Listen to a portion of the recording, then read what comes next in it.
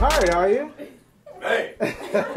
What's up, man? How are you? Good to see you again. Likewise. Yeah, yeah, yeah. All right. I, I we talked uh, for the uh, Nipsey Hussle unveiling at the Trap Museum. Mm. Okay. And you, you also did something with my, my good sister Rose Rose Scott.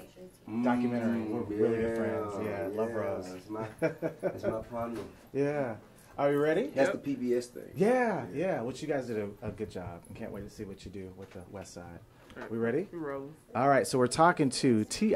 What's up, man? What's going on, sir? Got to be still excited from this past weekend's Tyler Perry opening. You were there, saw the pictures. How much fun did you have? Uh man, I think it, it was it was majestic. It was very opulent. The most um, eclectic, diverse group of successful black men and women I feel has ever been assembled, especially in recent history. Yeah. Now you're getting ready to, you know, you've got this huge premiere for this amazing show, Rhythm and Flow, that's uh, de- uh, debuting tomorrow on Netflix. You're a judge. It's you and Chance the Rapper and, and uh, Cardi B. How did you become a part of this project?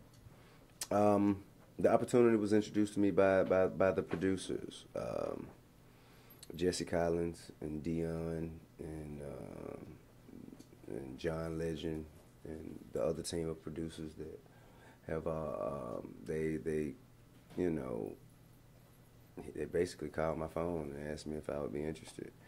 And um, I had some reservations at first because so many times this this this particular this particular model or you know this approach at a hip hop competition show had been um, had been explored, tried, and failed. And I just you know I wanted to make sure that if you know if it, I wanted to make sure that all the boxes were checked to where I could ensure myself that I wouldn't I wouldn't I wouldn't be looking forward to a similar fate. Yeah. Wow. Let's talk about your show, Grand Hustle. How did that prepare you to be a judge for this show?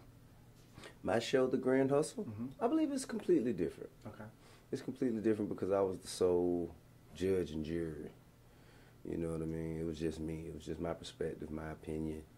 You know, my my vision uh, versus you have three judges from you know completely different backgrounds and, and completely different skill sets, um, and we collaboratively kind of chime in here and there on on whether or not someone should or shouldn't be advancing. Yeah. Well, T.I., thank you so much. Congratulations on the show. And uh, can't wait to watch the entire series. All right.